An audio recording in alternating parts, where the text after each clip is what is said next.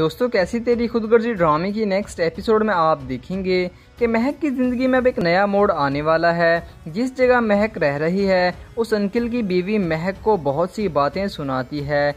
महक को बात बात पर ताने देगी, जिसके बाद महक जॉब करने का फैसला कर लेगी और एक टीचर की जॉब स्टार्ट कर देगी। जबकि दूसरी तरफ़ शमशेर महक के गम से निकल ही नहीं पाता, लेकिन शमशेर को ये मालूम हो जाएगा कि महक ज़िंदा है और वो इस वक्त मुल्तान मुंतकिल हो चुकी है। शमशेर ये नहीं जानता कि यह सब खेल उसके बाबा साहब का था। इसीलिए शमशेर शेरू के पास ही मुल्तान जाता है और मारा मारा महक को तलाश करता रहता है, दरबारों पर भी जाता है। जबकि शमशेर की तमाम तर रिपोर्ट शेरू बाबा साहब को देता रहता है, उधर शमशेर की मामा भी अपने बेटे के गम में निढाल होती है और आखिरकार शमशेर को याद करती हुई इस दुनिया से चली जाती है।